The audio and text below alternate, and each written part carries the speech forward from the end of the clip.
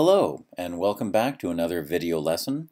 In this lesson we're going to learn how to make a favicon. That's the icon that appears next to the title uh, of a web page in a tab or next to the URL or the address in the address bar. You'll see what we're talking about after we finish this. And the way to do this is to begin in Adobe Photoshop uh, we have Photoshop on all the computers in the Media Center at NIC third floor. We also have a couple of copies of Photoshop on the fifth floor of LCJ. Uh, when you open up Photoshop, you want to go to the File menu and say New. You'll get this dialog box. You want to make sure that the width is 32 pixels and the height is 32 pixels. So if it's set to something else, you can set it to pixels. Make sure it's 32 to 32. Uh, I think the only other important thing would be that it's an RGB color mode, but otherwise you can just leave everything else as it is. So click OK, and now you should have this little uh, square right here. It's going to be a very small graphic, so we'll probably have to zoom in here. So I'm going to do a control, hold down the control key, and type plus, and you can see that zooms in. If you hold down the control key and type minus, you'll zoom out. Now if you have a Japanese language uh, keyboard, then uh, the control plus is a difficult maneuver. So another way to do that is to get the uh, magnifying glass tool. That's in the toolbar on the left uh, near the bottom. And if you click on that, then you bring the cursor over to that white box. And if you click on it, it should increase in size. If you want to decrease in size, hold down the Alt key and then click and it will decrease in size. You don't need to make it huge, just make it big enough so that you can comfortably work in it. Now this class is web design, so I'm going to create a little icon with a W in it. Uh, there's not much room for much else. Uh, you cannot make a really complex design. So I'm just going to keep it simple.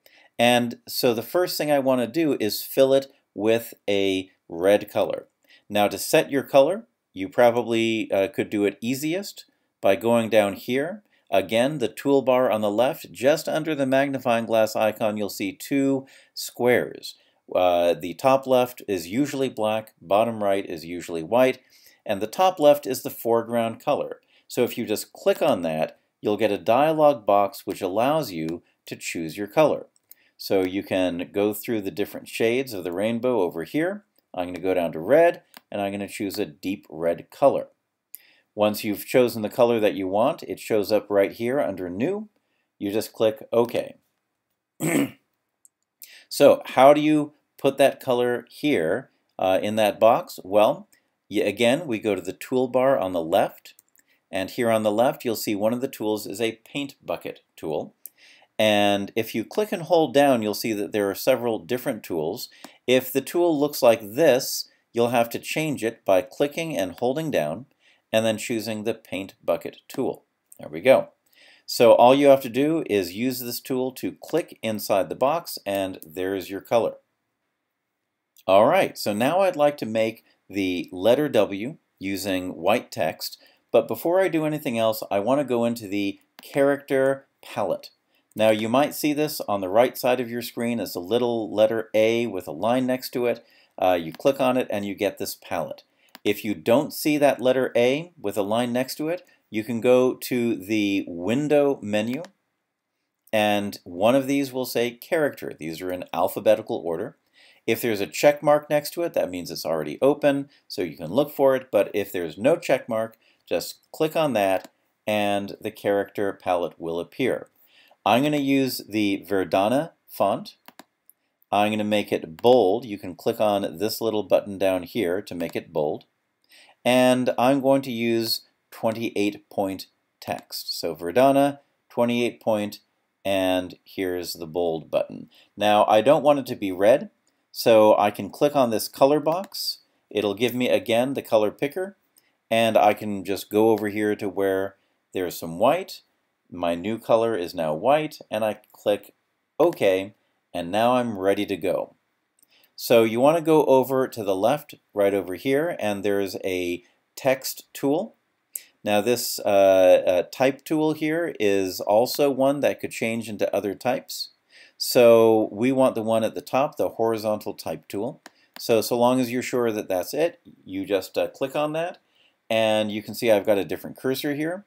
We're going to go to our box and just create a text box that covers the entire area. You can see that since we set it to 28 pixels, that means uh, the size is about right, and if you just type a capital W, it should appear just like that. So now we want to center that. So the best way to do that is to get out of the text tool. So go to the top of the left toolbar and click on this tool right here. This is the Move tool. And now that we have the Move tool, you can click and drag it around until it's about in the center. Now, we finished creating the graphic, and the way to see it at its regular size is to hold down the Control key and type the number 1. That'll make it 100% size, and you can see we have our little W icon right there. It looks much nicer now that it's small. Okay, so what I'm going to do now is I'm going to save this for web. So I'm going to go to the File menu and go down to Save for Web. If you like keyboard shortcuts, it's Alt Control Shift S. And when we click on that, we can choose what kind of file we're going to save it as.